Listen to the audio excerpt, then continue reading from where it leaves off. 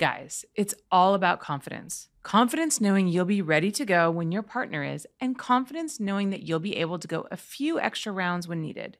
And confidence is what you will get with the chewables from bluechew.com. And we've got a special deal for our listeners. Try Blue Chew for free when you use our promo code HOLLY at checkout. Just pay $5 shipping. That's bluechew.com, promo code HOLLY, all one word, to receive your first month for free.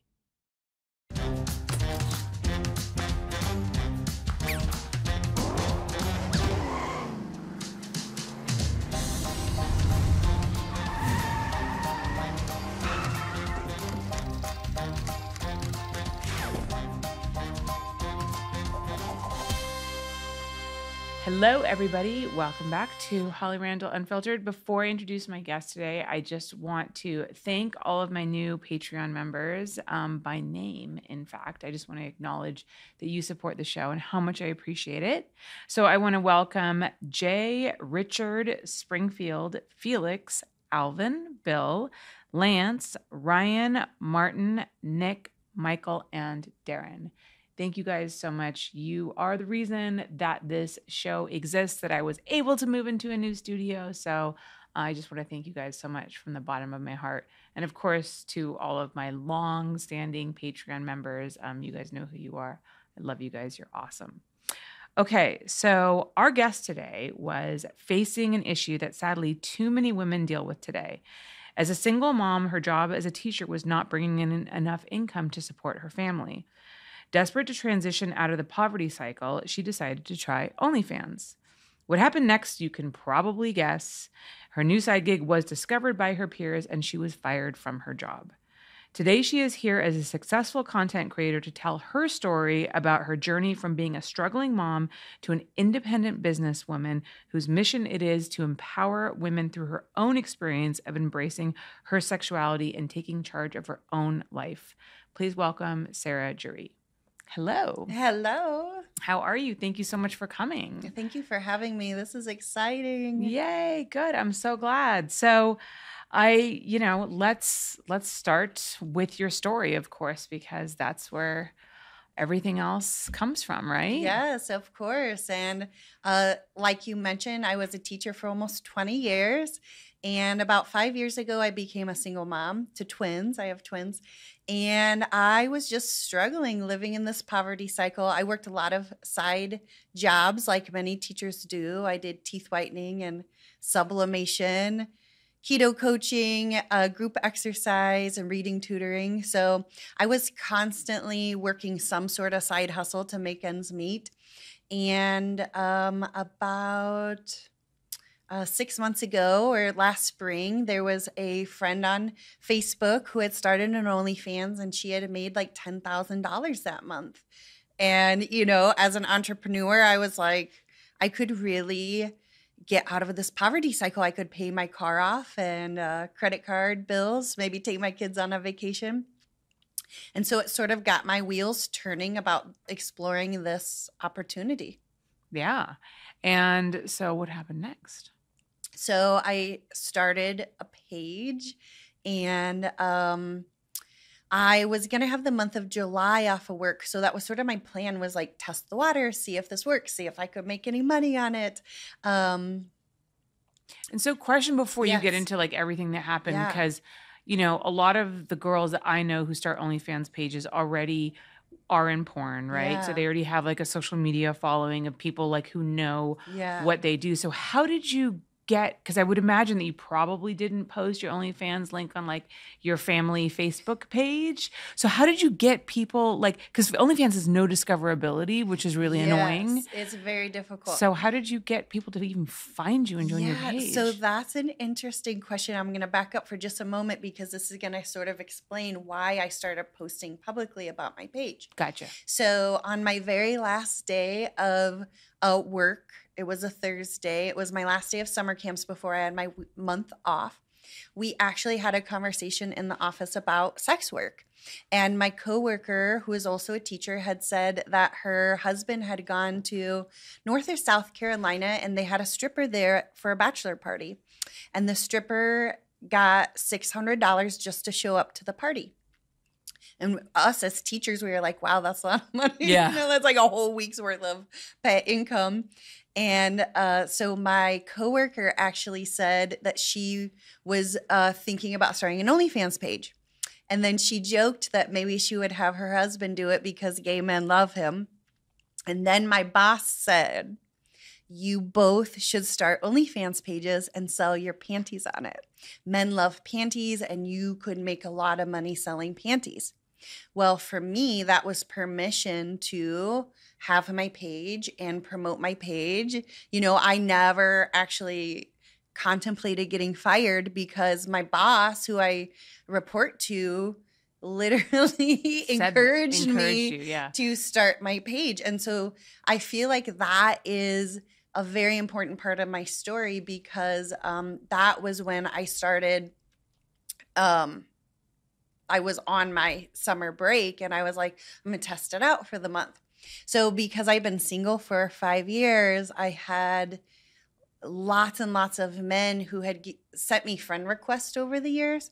So I mean, I was thinking like a businesswoman, and I just went and like accepted 600 friend requests. And men are pretty um, predictable. So as soon as I accepted the friend request, they would go straight to my DM, and I'd hit them with my OnlyFans link. And then that was how I started promoting Gotcha, my okay. page. So you weren't posting it on like the posting the main part of Facebook where everyone could see it. You're DMing guys directly. I did that, but I also Okay, gotcha. s- put it in my stories. hmm um my OnlyFans handle because like you said there's no searchability and I knew that if I didn't have fans I wouldn't make any money. Yeah. So because I had the blessing of my boss, I was like, "Oh, I'm going to Yeah. do this. I'm going to promote it and um I was on my summer break, so you know. It's kind of crazy that Facebook, which is, you know, one would consider like a family oriented and definitely not sex work friendly, like whatsoever Yes. platform, is how you were able to promote your OnlyFans. Like, yes, it's that- also how I got fired.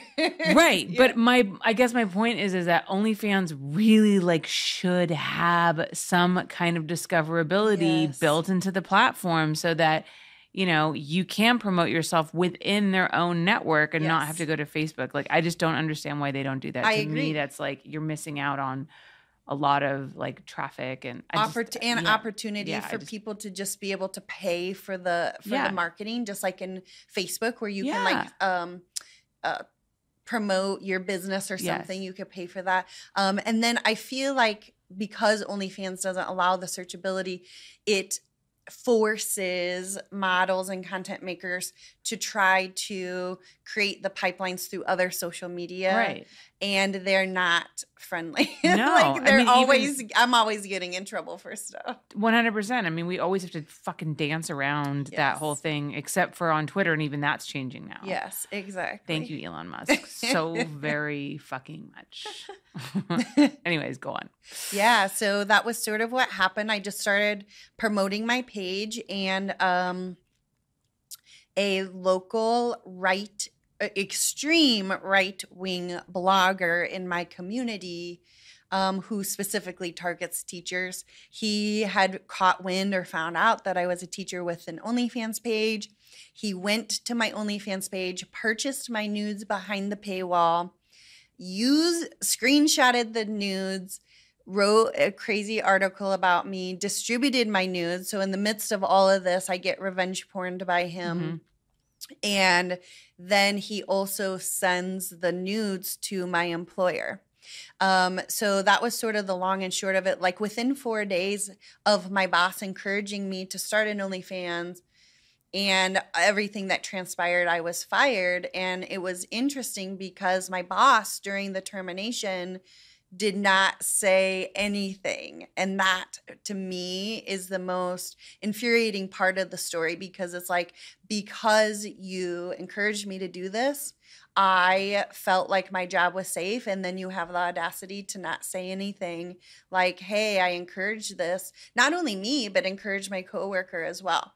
Um, so I feel like that's just such an important part of what Yeah. transpired because that was literally why I felt like, oh, I can do this. Also, I wasn't um, a traditional teacher I was a field trip teacher, so I Mhm. was a contract employee for the state of Indiana, Mhm. and um, I taught field trips. So teachers would come with their students for five visits and then go back to school. So I Mhm. didn't have the relationship with the kids that um, You weren't like representing the school in a way that like a like a schoolroom teacher, I guess, would be. Yeah, where you would have these like close relationships. Mhm. You would get to know the kid. For me, I was like the fun field trip teacher where Yeah. they came and then Yeah. And, you Was know, your boss the one who actually had to fire you?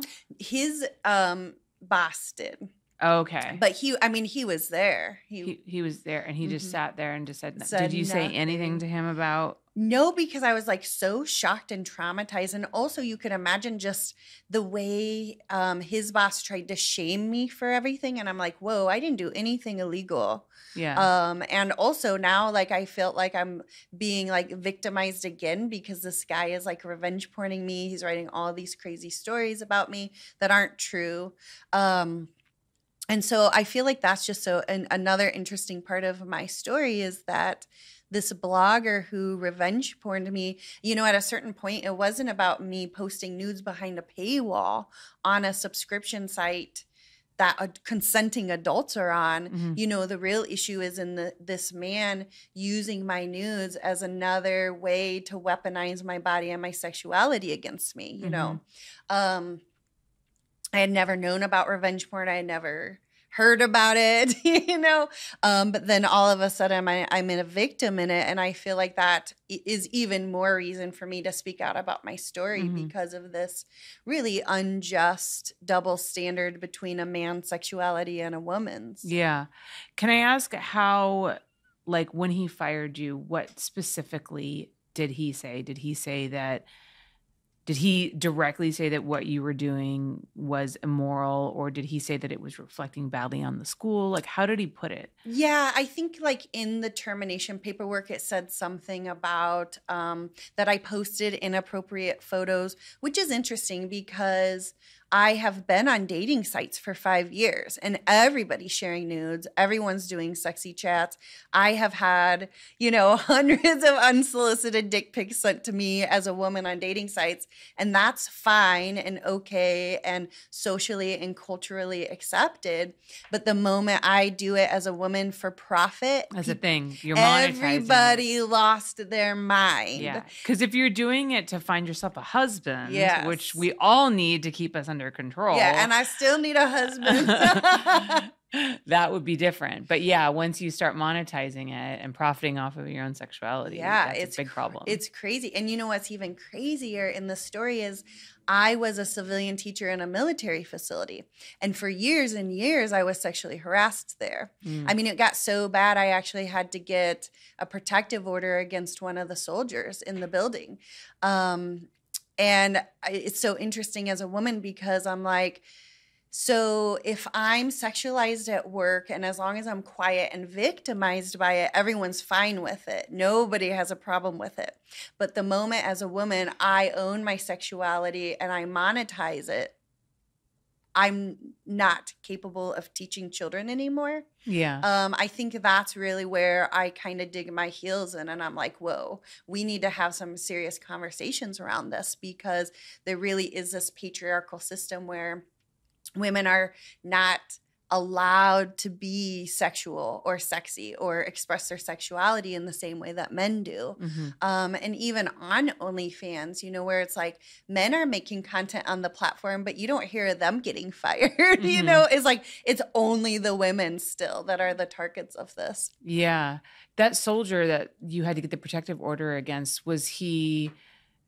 Like, did he suffer any repercussions from that at all? No, in fact, even after I got the protective order, they still allowed him into the building.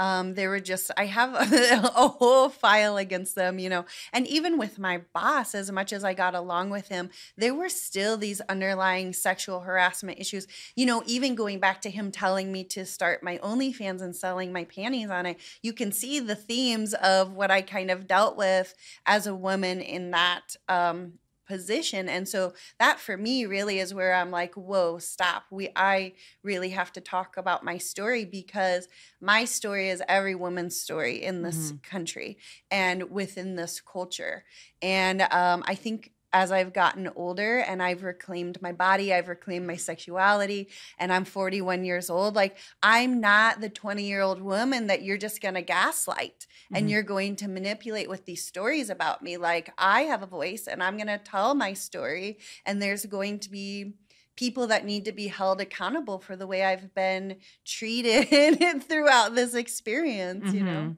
Yeah. Um, as a parent yourself, what would you say to the parents who might object to somebody who shoots anything, you know, pornographic on the side um, as being a teacher? Yeah, I children. I think there's so many layers to my story and like so many beautiful conversations that can come up like this one. And um, you know, I have like a couple thoughts about this. Like the first one is it's really important that teachers are humanized. This idea that that teachers you can't go out and drink or kids might see you drinking. Well, teachers, you're adults. You're consenting adults and every teacher has a sex life at home in their bedroom including me. I was actually celibate for a long time. And even when I joined OnlyFans, I was celibate. So that's the other interesting, ironic twist to my story was like people would have been more okay, with me bringing men around my children, sleeping, you know, participating in the hookup culture, having lots of sexual partners. Um, but being celibate and finding a place to express my sexuality on the OnlyFans platform was wrong and horrible, where it's like virtual sex is the safest sex I could have been having. Yeah. Um, so I feel like there is this um, need to really humanize teachers. They are humans just like everyone else. They're going to have private lives just like everybody else. And as long as that teacher is doing a good job in the classroom and being appropriate and kind and um, representing themselves well in front of your children, than what that teacher's doing outside of the classrooms not the parents' business, just like it's not my business as a teacher what those parents are doing in their bedrooms. Mhm. Um, so I think there there is the standard for that, and I think secondly, as a mother myself of two 11 year old twins, this idea of porn really is the parents' responsibility to have these conversations around it, just like you're going to talk about alcohol, just like you're going to talk about smoking or drugs. The idea of sex and where porn fits in there for you and your family. I think um, instead of shaming the teacher, it's this beautiful learning uh, opportunity as a parent to talk about it because the truth is, the internet is the wild, wild west, and kids have access to things that you and I never did as uh, kids. And the responsibility to talk to your kids at ages younger than you think you're going to need the talks um, really needs to be brought to the surface, you know. And I think even for me, I've had to talk to my kids who just turned 11 and they knew way more than I thought they did. Um, but that was good for me because it gave me the opportunity to have these conversations with them and start them now um, so that they don't have to dismantle these ideas around shame and their body and sex that I have had to do. hmm And also, too, I mean, you know, sex education is sorely lacking in this country, as I'm sure you as a teacher know. I mean, what is is there sex? Is there? There's not mandatory sex education in Indiana, is there? You know what's so interesting? it's only required in 13 states, I believe. Really? Yeah. And there is this political agenda that I got caught up in as a teacher where they call every teacher a groomer now. And it's just like ridiculous. It's wild. And even if you are a proponent for sex education, in schools and and I'm saying reasonably age appropriate Yeah. about their bodies starting at puberty um you know just giving kids the language and the autonomy over their bodies um there really is this backlash for this extreme right wing conservatives. And it's wild and it's really, really sad because these are the same people who are screaming about being pro life.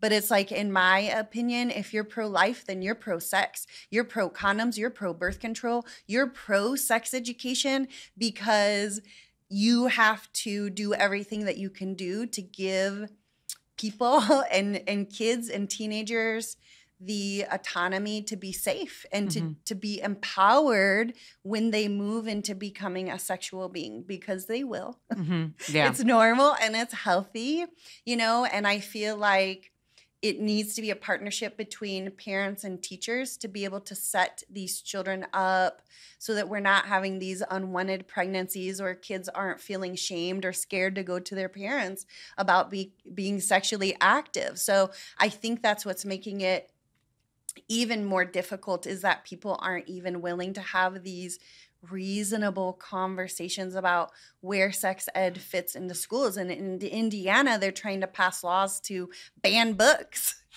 and and arrest librarians and teachers. And it's it's just really um, almost like the Twilight Zone. Yeah, know? yeah. It's really it's really it's actually scary how much fear is um, there is around sex in this country yes. specifically, and how that tends to breed like the opposite reaction that people want. They're like, yes. oh, if we tell our children that, you know, we don't talk about sex, or we tell them, like, you know, you need to be a virgin until you're married. Yes. And wait, th- like, those are the kids that are more likely to go out and experiment with sex early and get pregnant because they have no education, no tools on protecting themselves and no support where they feel yeah. like they can't go to their parents because right. it's this it's awkward and shameful thing and I remember my daughter saying to me like, "Mom, this is this feels very awkward and uncomfortable that we're talking about it." And I said, "That's okay. I just need you to know that at the right time in your life, I am the best, healthiest resource for you mm-hmm. um, so that you can be empowered and protect yourself and um, you know i think have this idea that you're going to turn into a sexual person and mm-hmm. that's okay mm-hmm. you know it's okay and it, it's normal and it's right and uh, it's pleasure is okay and sex is okay and you know what beautiful gift can i give my, my kids and especially now being on onlyfans recognizing the importance of it so mm-hmm. that they can be healthy in their sexuality and their self sex mm-hmm. lives, you know? Yeah, yeah. No, I love that. All right, guys, we are going to take a quick commercial break and then we will be right back. So hang tight. Guys, it's all about confidence. Confidence knowing you'll be ready to go when your partner is, and confidence knowing that you'll be able to go a few extra rounds when needed. And confidence is what you will get with the chewables from bluechew.com. Blue Chew is a unique online service that delivers the same active ingredients as Viagra and Cialis, but in chewable form and at a fraction of the cost. And now they also have mint flavored chewables with the active ingredient in Levitra and Staxyn, so you can stay hard and fresh. Blue Chew's tablets are performance enhancement for the bedroom and can help men gain extra confidence when it's time to perform. The process is simple. Sign up at bluechew.com, consult with one of their licensed medical providers, and once you're approved, you'll receive your prescription within days. It's all online, so there's no awkward conversations at the doctor's office, no waiting in line at the pharmacy. It ships right to your door in a discreet package. If you want to take your bedroom game to the next level, you should try Blue Chew. And we've got a special deal for our listeners. Try Blue Chew for free when you use our promo code HOLLY at checkout. Just pay $5 shipping. That's bluechew.com, promo code HOLLY, all one word, to receive your first month for free. Hey guys, we are back. Okay, so Sarah, what do you think is the biggest misconception about what you do? Um, you know, I feel like one of the things that people ask me a lot, I people think that I get treated really poorly on OnlyFans. And I have No, no, no, that's Instagram.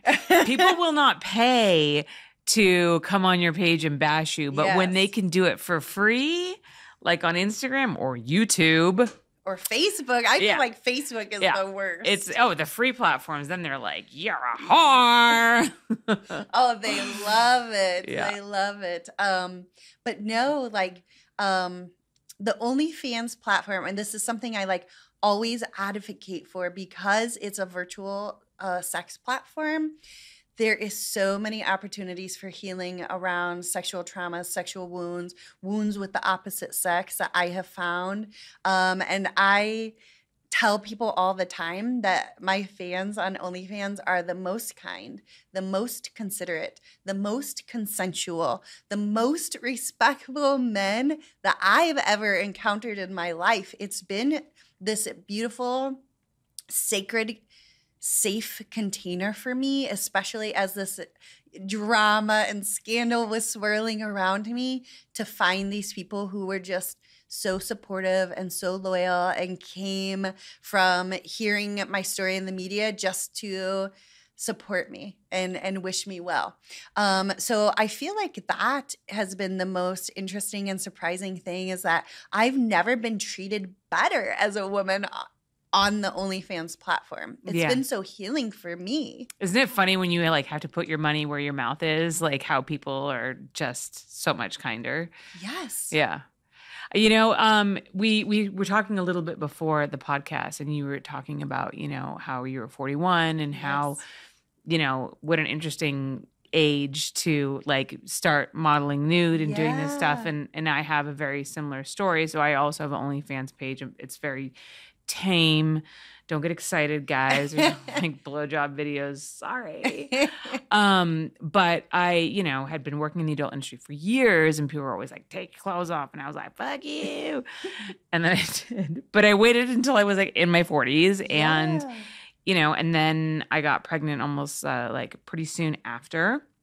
And um, all through my pregnancy, I continued to do some modeling. And, you know, now afterwards, and my body has changed as women's does when they get older and when they have children. And I have to say for myself, the the love and the support I've gotten through my subscribers on my OnlyFans page has been amazing. I mean, I feel more comfortable about my body now. I'm like 10 pounds heavier and just a different shape than I was Same. before um than I was when I was like skinnier and like, you know, like looked better, quote Yeah. unquote. And um it's been it's been really incredible. You know, we've been indoctrinated to believe that men only like women who are like you know 125 pounds Yes. have a flat stomach and Mhm. and certainly there are those men out there but Yeah. there are a lot of men that just love women of you know like all shapes and sizes all and shapes and there's so many people out there that have different preferences and you can always find like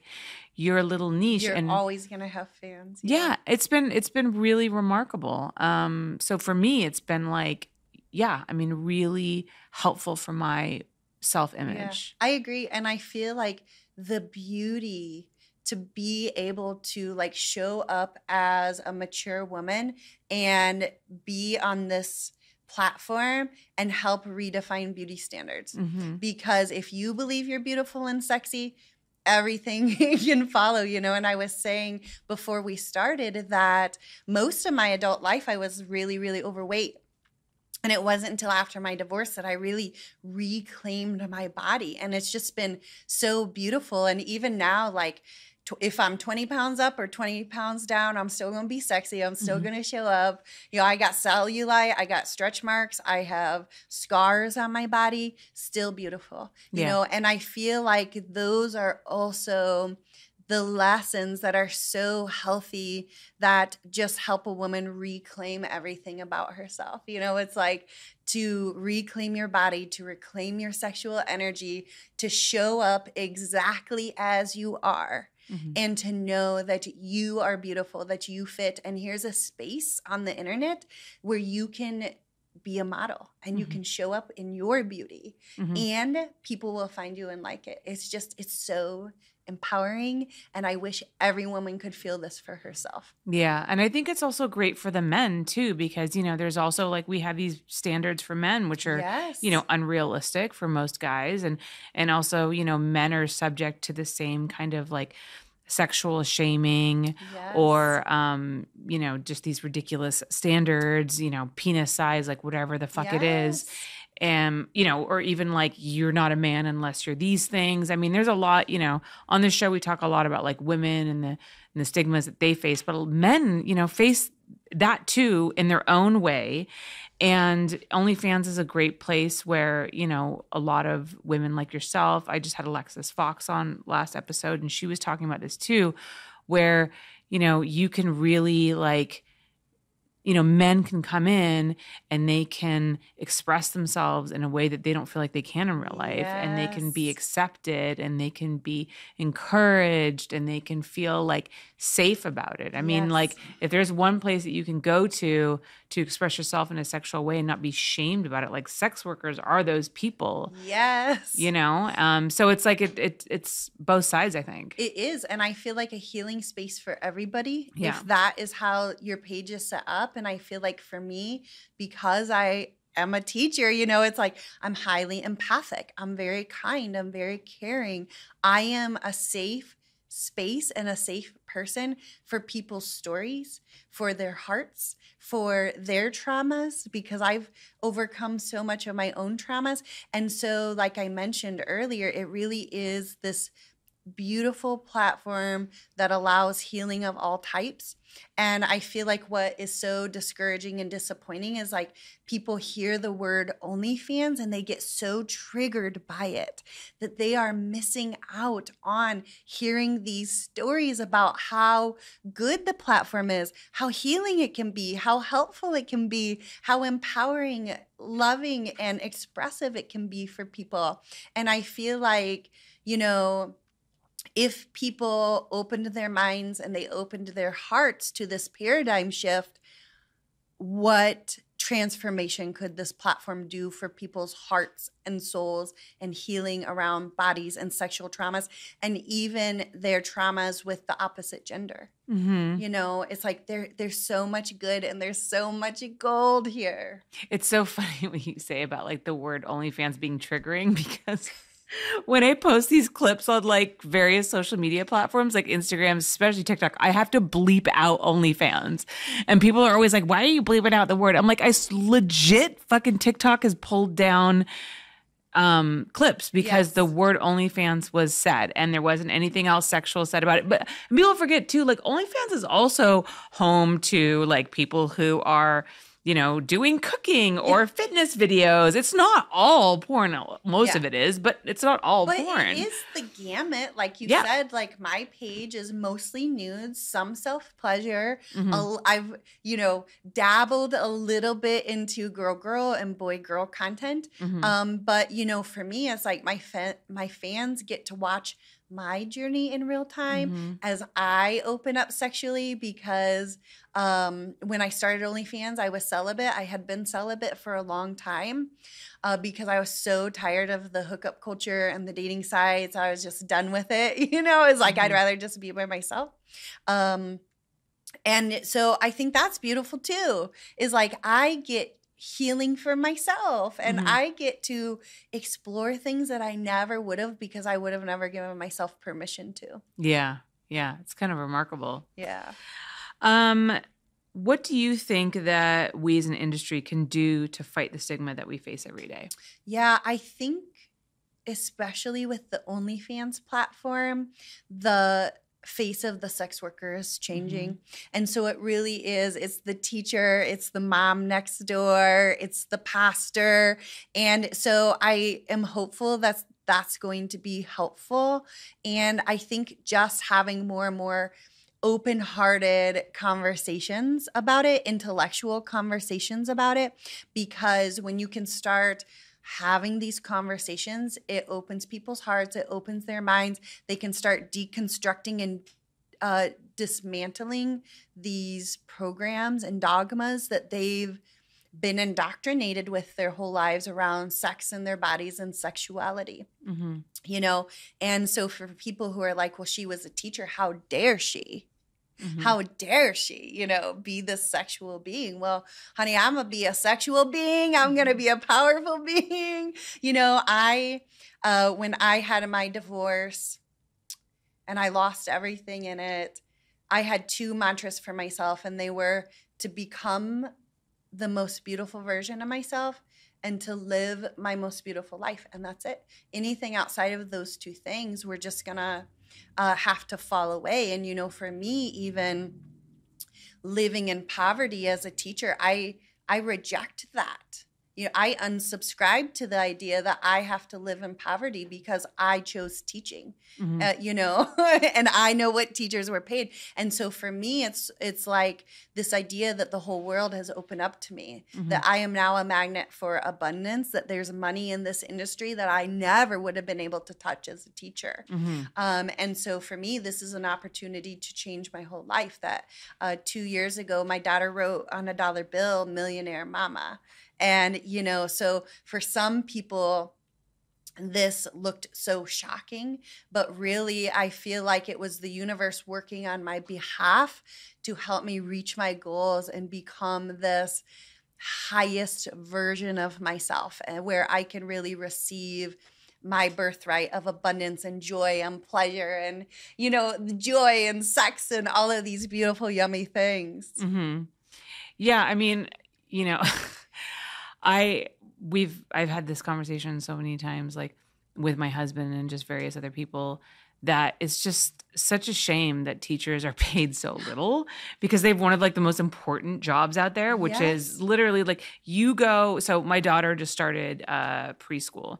Um, I mean, it's more like daycare at her age. She's almost two and a half, but it's like a preschool to pre-K. Yeah. Anyways, and I was terrified to like drop off my child with a stranger all day, yeah. you know? Like I just not that I didn't trust the teacher or what, but I just didn't know them yeah. and you know, the idea it's it's scary when you have your own kid. It is. Um so, you know, this is such an incredibly important job and the fact that you know, it's so undervalued, so underpaid. Yeah. And I think about the teachers that made a difference in a positive way in my life and how important they were and how I still remember them all these years later. And then the fucking batshit crazy teachers that I fucking had, like yes. specifically in high school. And I went to, you know, like a decent high school. I went to Calabasas High. It yeah. was like, you know, in like a wealthy community. Um, so you would think that you, I, I don't know actually why you would think that you would attract decent teachers, but like, dude there like my photography teacher like i first of all i knew more about photography than she did when i was in high school yeah. like i legit she and she knew that i knew that and she would just like let me do my own thing yeah. because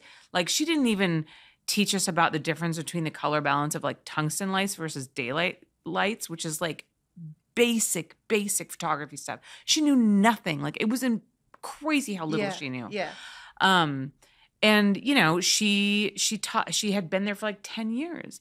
And she was fucking nuts. And i'm sure she was drinking all day. And she was so inappropriate. And she would like snap at people for no reason. I mean you were scared to talk to her ask her questions. She was so nasty. Yeah. And then like sometimes she'd come in and she'd start telling about like us about her like relationship with her boyfriend like in details that like we should not be hearing. Yeah, yeah. and then i think about my history teacher who threw me out of class for for, he called he told me I looked like a whore in front of my entire classroom. And let me tell you something, I fucking didn't look like a whore. Okay. I wore a dress that my mother bought me. And yes, we all know my mother's a pornographer and she's a little bit of a whore. But um she did not buy it was a beautiful dress. Yeah, like I yeah. it was a white dress, it was short sleeved. It was like, you know, it was higher than this. It had buttons that went down. Um, and then it ended at the knee. Um, you could not see anything through it. It was like a beautiful dress. Yeah. And I walked into class and he was like, You look like a whore. What are you wearing? And I was like, My mother bought it for me. I was like, I didn't know what to say. And he was like, Get out of here. Like, I you can't be in this class in this dress. And I was hysterical. And I went and I sat down on a bench and I sobbed. My friend mm. found me and she was like, We're going to the principal's office. This is bullshit. Like, there's nothing wrong with what you're wearing. And I went to the principal and he was like, "Yeah, there's nothing inappropriate in your outfit." And um and I could tell by like the resigned look on his face that this he had problems with this teacher. Yeah, like, like, this oh, I gotta do like something. this fucking guy again. You know what I mean? Yeah. And he was like a problem for so many reasons. He was creepy. He played favorites. He was Yeah. like, anyways. But yeah, and he and it was just like I mean, these people, like, these are the kinds of people that should not be around children, not yeah. like sex workers. Yeah, I mean, it's, it's, it's- it's this idea that sex workers are like criminals, sexual Immoral, deviants, yes. immoral. They like, you know, that there's no separation between their persona when they're acting out a fantasy behind the camera, like, you know, fucking mainstream actors do, and like how they conduct themselves in their day to day life. Yeah. You know, and I feel like I really got the brunt of that. Like people just automatically judged my morality, you know, Mhm. where it was like, listen, my morals are being a single mom and providing for myself and my kids, period. That's where my morals lie. And I will figure out, I will do anything to provide for my kids and myself. Um, but it's just so interesting because people are okay with teachers being paid so little and having to work two or three jobs like this is acceptable this is just cult- culturally understood um, and i just I, I just disagree so profoundly. And I feel like the real travesty in this entire situation is that there are children who now will never know me as a teacher. My joy, my passion, my compassion, my excitement. I mean, I was not just a teacher in that program, I was a favorite teacher. Yeah. And teaching was my identity, it was my heart. And, you know, I really felt backed into a corner where I had to figure out a way to survive financially, you know, and, um, that was really why I started OnlyFans. It was it was for finances, and you know, in the beginning when I was just selling nudes, it was like that was gas money to get me to work. That was groceries for my kids and myself, and uh, so I know that it's just so interesting that people just automatically judge my morals when it's like, no, I'm a very grounded, empathic, kind, appropriate person. I'm thoughtful. Kids have always been very safe with me. They will always remain to be safe with me. I'm a mom and a teacher. Um, but yeah, I'm a sexual being too, and I don't apologize for it. yeah. I really don't. I feel like it, it's my prerogative to express myself sexually with consenting adults the way I feel like it's appropriate. You, you Yeah, know? yeah. And that's not anyone's business unless they choose to be on my OnlyFans page, yeah. you know? Yeah, exactly. Um, do you think that we're moving towards a place of acceptance towards sex workers? Like, have you seen a shift, or do you think that we're? I think it's interesting because even with my story, the way I was written about in the media, um, I feel like they wrote, wrote about me in a way to really trigger people, um, just because people have their own issues with sex and sexuality, so they project it Mhm. onto other people. Um, so in one sense, I, you know, it's it's hard to say, but I will say that there was probably a very good 50-50 split on who supported me and who didn't. Mhm. Um, I got as much support and people coming to my OnlyFans page and going out of their way, even parents of children that I taught oh wow, came out and uh, one i ran into at a park event i had taken my kids to right when it had first happened and she told me she was like i am so sorry what you've been put through she Mm, said that must have meant a lot to you. it did it made me cry and she was like my daughter who i had just had a couple weeks ago in her summer camp she said my daughter adored you and she said that's all i need to know about you Yeah, you know and so i feel like there's going to be a shift i feel like there's going to be a bigger shift as the time of OnlyFans being around and younger people joining, I feel like it's gonna be normalized. It's not yet, but that's why I, I feel like these conversations are so important because it's trailblazing for as many women who have trailblazed the path for us to even be having these conversations Mhm. we get to be those trailblazers for those other women um so that they don't feel shamed in their bodies and sexuality and Yeah. and have to do all that, you know, deprogramming that we had to do. Yeah. It's interesting what you said about the media thing too, because we both know that the two things that sell the best are sex and fear. Yes. And if you can wrap those two things up into one headline, Yeah. chef's kiss. Oh, Um, you're going to sell so much clickbait. yes, and it's so funny because when I got on the OnlyFans, I was like, I'm gonna be in the MILF category, you Yeah. know? And then all of a sudden when the teacher thing hit, I found out how many men have teacher fantasies, and I was like, of course. I was like, because it's like that authoritative figure that's like, yes. you know, obviously not related to you. And yes, and yeah. all of like the suppressed feelings of like, especially if they had a teacher and Mhm. teachers were off limits, and I'm like, I will be your sexy teacher, please Yeah. come to me let me be your sexy teacher on OnlyFans. I actually created um a dick rating report card, and that's like special to my page. And it, I like have a little template mocked up, and I love it. It's fun.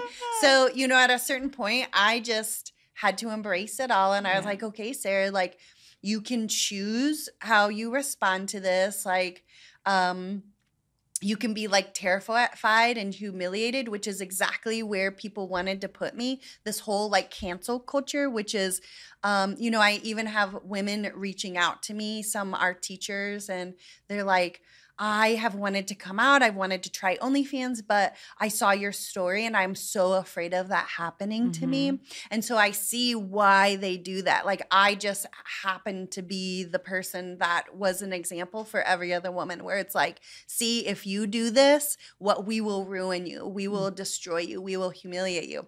But I'm here to say that it did not work. You know, I'm just um, blessed and unstoppable, and I'm too resilient for that. And so it's my privilege to be an example and a role model for women and other women to say you can live in full expression you can live your your sexiest hottest life with unapologetically even you know Now, I I saw your appearance on Dr. Phil, yeah and you said that you're making seven times the amount now on OnlyFans than you were as a teacher. yes That might have even jumped since you were on Dr. Yeah. Phil, because I know you months have passed by and you've done a lot of Mhm. media. Um, even though you're obviously making enough money now to not be working as a teacher, yeah if you had the opportunity, would you still be teaching? Yeah, originally my goal was to stay a teacher. like I wanted my teacher pay to be my side hustle money. like I I was that would be like your passion project. Yes, it was like it was never the intention to like just jump into this and leave teaching.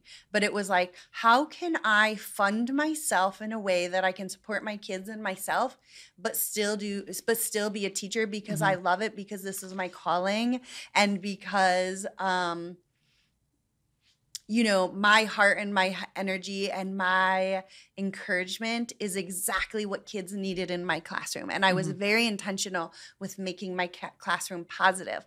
In the same way that I'm intentional making my OnlyFans platform, Mhm. all of my platforms are like all about positivity, mindset, manifesting, um, moving yourself out of victim mindset.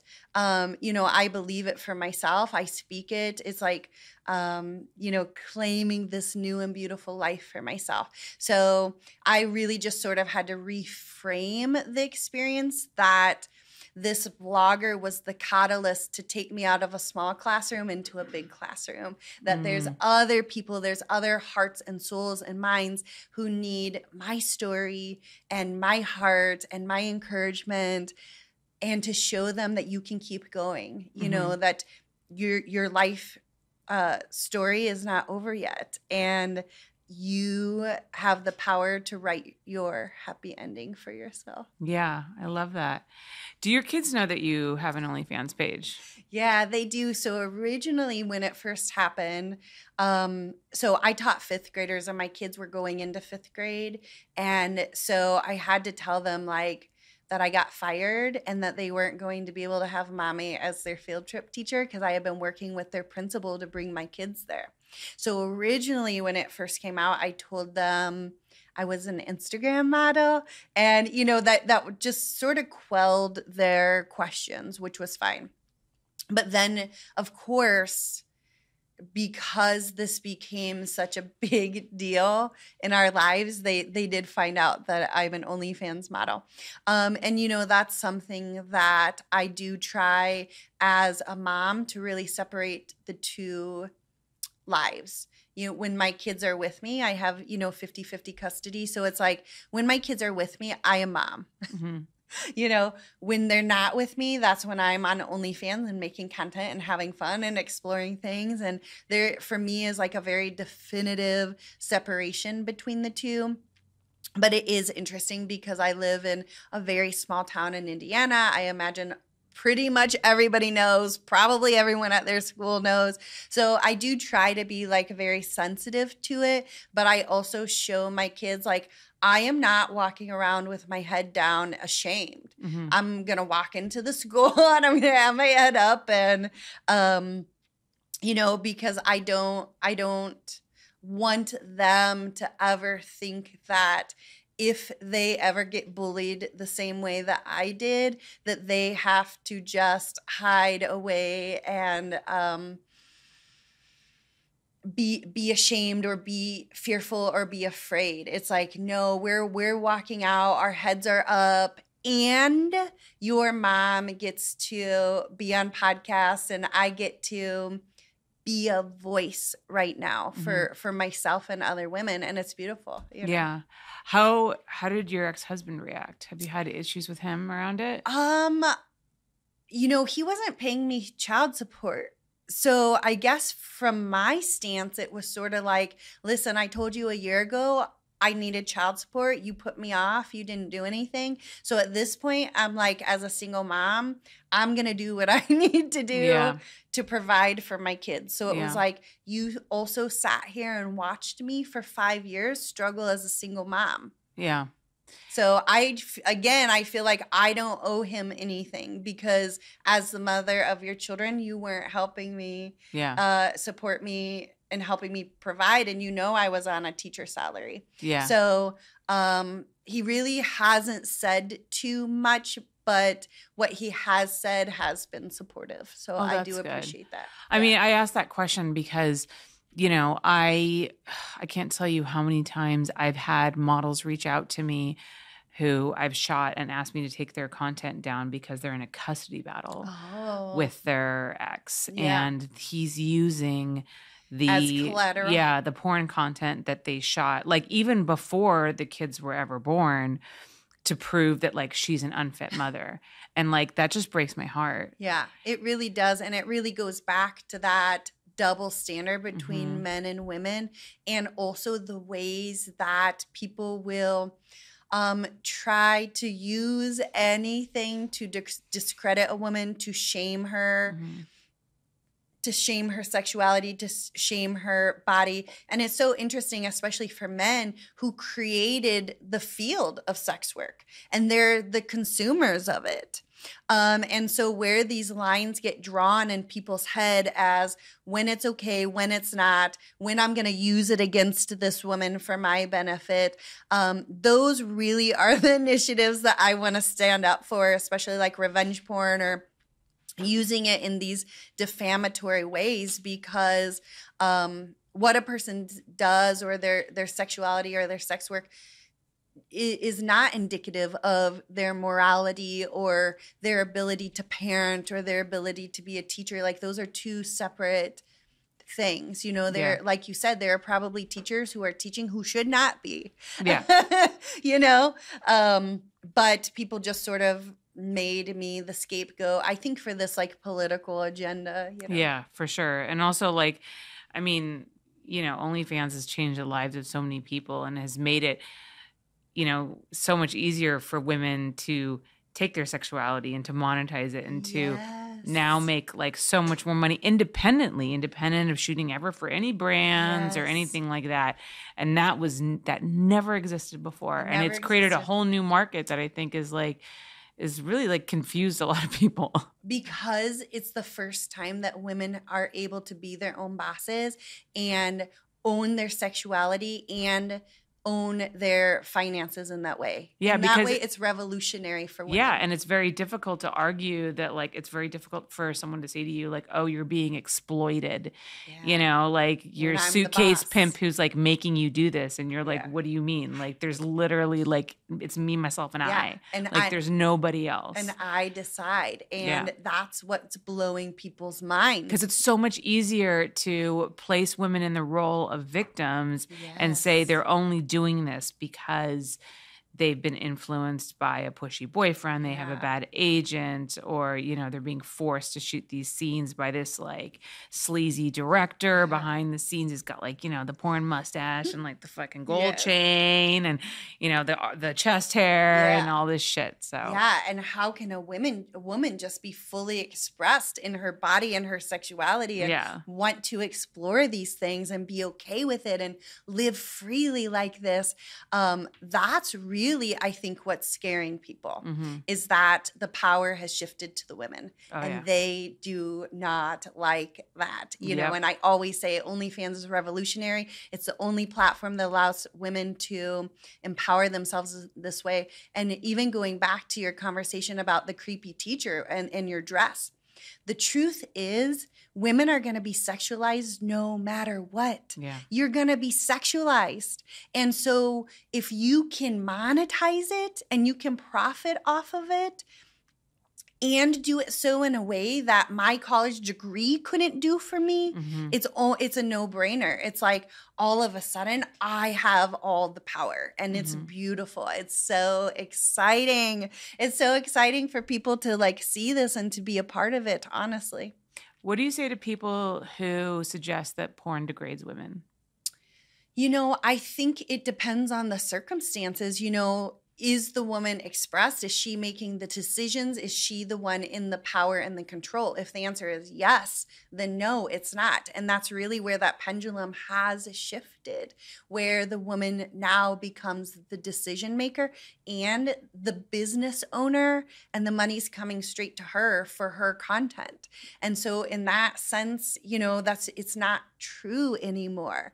And I remember even being on the Dr. Phil show, they tried to make the argument, you know, one of the guests that she was in the porn industry and she was on drugs or this and that. And I said, yeah, but this is not the same experience. And so you're talking about an outdated experience that might have caused you trauma. And I, my heart hurts for you for that. But you also have to see that there's like three beautiful, intelligent women who were former teachers standing on the stage telling you that's not the case you Mhm. know uh, we're not addicted to drugs like we're we're grounded we're self-actualized we're educated we're mothers we're Mhm. neighbors you know and so that argument doesn't stand anymore because now there's evidence to the contrary Yeah. How was it being on the Dr. Phil show? I mean, that must have been intimidating because it's obviously got a huge reach. yes And, you know, I look at someone like Dr. Phil and I think, like, oh, this is like the kind of show that has that agenda that's going to try to skew you in a negative way.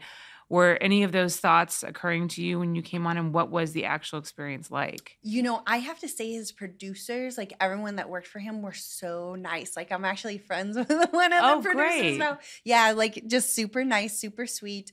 Um, she was actually saying that um the the guests that she had on were all OnlyFans models were like the kindest, the most responsive, the most responsible with getting things back. Well, because you're entrepreneurs. Yeah, we're You're business small women. business owners. and also we are all teachers. Like you have to turn we're like organizing. totally. You know, like here's so- my curriculum of like shows that I'm doing this month, everybody. exactly. So, in one way, it did feel exciting that he even was open to this opportunity to allow us to come on and to speak our truth. hmm In the other way, it was like a little disappointing, just even the way the title was slanted, like from saints to sex workers, when really it should be like from saints to saints. Like sex worker does, you know, I feel like even in the language there, you're implying something that's not true hmm um, you know, especially about me. I feel like there was a lot of my story that was cut out that I wasn't able to share while I was there, which was disappointing.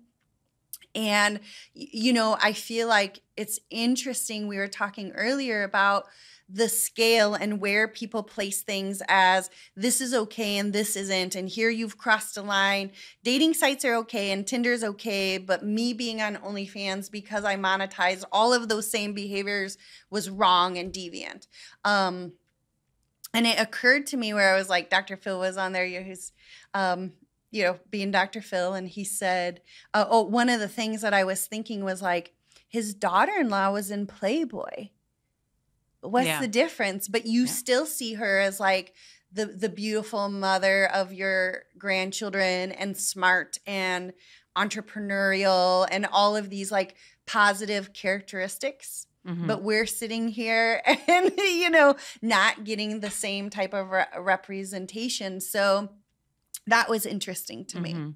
It was also interesting too. I noticed that like they never said the word OnlyFans. no It was always like uh online content. You got fired for posting content online. Like what the fuck does that mean? And like just the the further into the interview it got, I was like everyone who's watching this knows what you're talking about. Did they tell you specifically why they wouldn't mention the word? Yeah, I think it was more of a legal thing um, because they have a ton of lawyers for sure. them.